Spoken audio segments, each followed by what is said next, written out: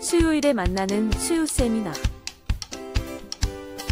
디지털 임플란트 플래닝을 환자 구강에 재현 한계는 어디까지인가? 천세영 원장. 많은 시청 바랍니다.